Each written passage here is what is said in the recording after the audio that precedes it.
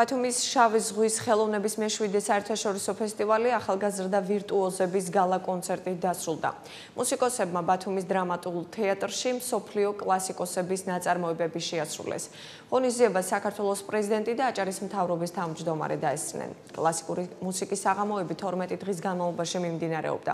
ფესტივალის ფარგლებში ცნობილი ქართველი პიანისტის ელისო ბოლქვაძის კონცერტებიც გამართა.